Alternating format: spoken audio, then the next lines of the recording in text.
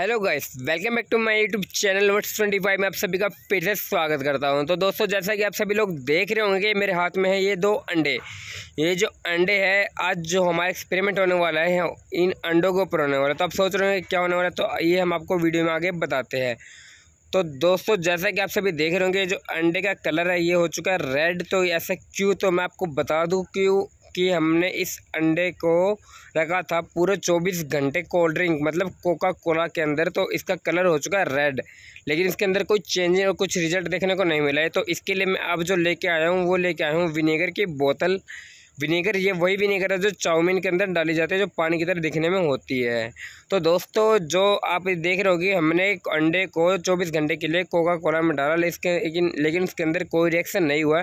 तो अब हम इसी अंडे को विनेगर के साथ 24 घंटे के लिए रखेंगे और इसके बाद का रिएक्शन देखेंगे। और दोस्तों, मैं बता रहा हूँ कोका कोला के अंदर बेशक इसके अंदर कोई रिएक्शन नहीं आया हो, लेकिन विनेगर के साथ जो रिएक्शन आएगा, बहुत ही कमाल का आएगा। लाजवाब होगा जो इसका रिज़ल्ट होगा बिल्कुल देखने में। अगर आप हमारे चैनल में नए हैं तो फटाफट जाके चैनल को सब्सक्राइब करें वीडियो को लाइक और शेयर करना बिल्कुल बिना भूले। तो चलिए, आइए वीडियो को शुरू करते हैं। तो दोस्तों, अगर आप यहाँ तक आ चुके हो तो सब्सक्राइब का बटन भी दबा दो ताकि मुझे और भी ज़्यादा वीडियो बनाने में मज़ा आने लगे। तो चलिए, आइए वीडियो को शुरू करते हैं। हम लेते हैं सबसे पहले गिलास। गिलास के अंदर हमने ये डाल दिया विनीगर हम फटाफट पहले विनीगर को खाली कर लेते हैं मतलब विनेगर की बोतल बोतलों खाली कर लेते हैं और गिलास को भर लेते हैं। तो हमने दोस्तों पूरा गिलास यहाँ पे भर लिया है। अब बारी है इस अंडे की। तो अब हम इस अंडे को इसके अंदर डालेंगे। तो अब हम इसी विनेगर के अंदर हमने अंडे को डाल दिया। अब हम इसे चौबीस घंटे के लिए छोड़ देंगे और चौबीस घंटे बाद जो इसका रिज़ल्ट होगा, बहुत ही कमाल का होगा। तो हम आपको दिखाते हैं कि चौबीस घंटे बाद इस अंडे का क्या हाल करता है विनीगर। तो दोस्तों, पूरे चौबीस घंटे हमने इस अंडे को विनेगर के अंदर डुबो के रखा। तो बारी अब इसका रिज़ल्ट देखने की। तो हमारा इंतज़ार हो चुका है पूरा ख़त्म और ये हम निकालते हैं अंडे को बाहर। तो जैसा कि आप सभी लोग देख रहे होंगे, ऐसा क्या है? तो मैं बता दूँ, जो अंडा जो है, ये एक तरह का जेली जो होता है जेली उसकी तरह का हो गया। इसका जो खोल होता है, कहते हैं कि बहुत ज़्यादा हार्ड होता है।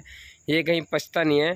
तो ये खोल जो है, बिल्कुल सॉफ्ट हो चुका है। जिस तरह मैं आपको एग्जांपल फॉर क्या बता दूँ, जिस तरह को ये पानी का गुब्बारा हो।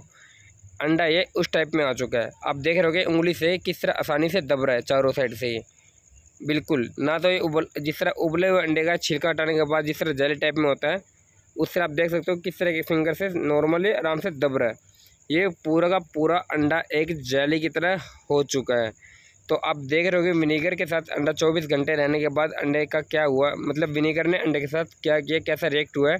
कि अंडे का जो खोल होता है, जो बिल्कुल कहते हैं कि नहीं पचेगा, वो उसको भी इसने जमा मतलब पतला, इतनी पतली परत बना दी कि इस अंडे को भी जली टाइप में बना दिया है।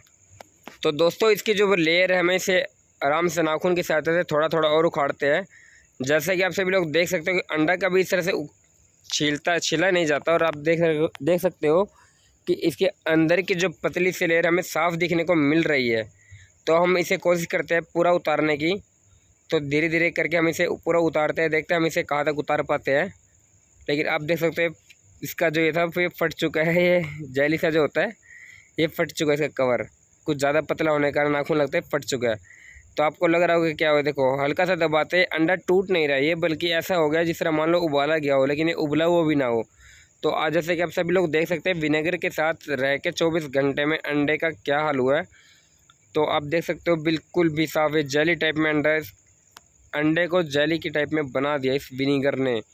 तो हम इसे और दबाते हैं और निकालते हैं फिर इसका खोल बाहर निकालते हैं और आपको दिखाएँगे कि अंडे का क्या हल किया इस विनीगर ने चौबीस घंटे इसके साथ रहने के बाद।